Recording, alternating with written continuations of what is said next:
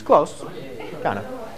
All right, so the next one, this one's going to get a little bit more confusing. It's a little bit different now, um, Ava, than what we dealt with with add, subtract, multiply, divide. And this is what we're going to call composition. And there's a couple different ways that we write this. Okay? So the first way we can write the composition is sometimes what we like to call fog in the math world because it has this has this little symbol that kind of looks like it resembles a, a O. So we sometimes say, oh, fog.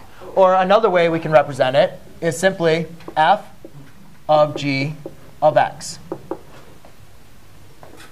Okay? It's the exact same thing, just a different way to represent it. Now, let me get through, uh, let's go through in a little example here. If I was going to say f of x equals x plus 2, right? Then I say, what does f of negative 3 do? So what do you do with that negative 3? If I wanted to evaluate for this, you'd plug the negative 3 where? You plug the negative 3 into the x. Right? So you say f of negative 3 equals negative 1. Correct? Well, notice, what am I doing? So this kind of represents this. So when I say f of g of x, what am I doing with the g of x? Well, if it was, remember, that was the f times g. I'll show you how that notation is written. But look at what I'm doing with this g of x. This is inside. This is like in that inside the parentheses of my f function. So guess what I'm going to do? I'm going to plug in g of x into the function f of x. So you can see it's going to look something like this.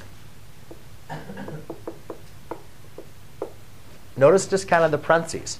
What I did is I plugged the whole, rather than just a number, Sam, I plugged the whole function into the other function. Well, because what's the function for f of x? It's x squared.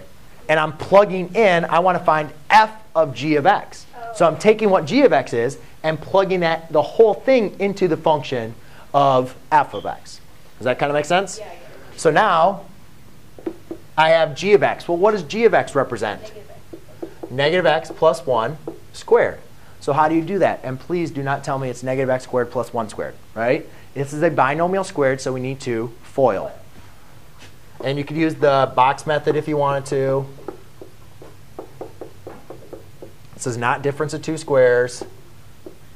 So therefore, negative x times negative x is a positive x squared minus x minus x plus 1, x squared minus 2x plus 1.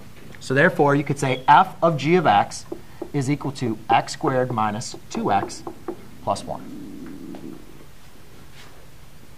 Okay? Kind of makes sense? Any questions? Good.